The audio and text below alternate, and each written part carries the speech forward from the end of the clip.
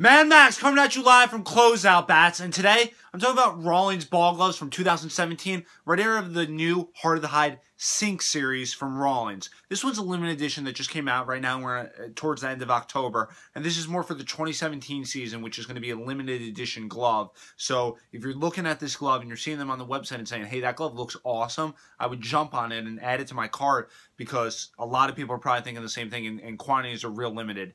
The, this one, by the the word sync means the the color pattern to the glove. You'll see it has that custom label to it. So obviously that red Rawlings logo to it with the the gold lettering to it, as well as the gold Rawlings logo right there. Which is got this glove. You'll see the colors. It's going to have that black, red, and gold coming together just to make an unbelievable color pattern, which is giving kind of that custom look to an instant classic from Rawlings, that Heart of the Hide series.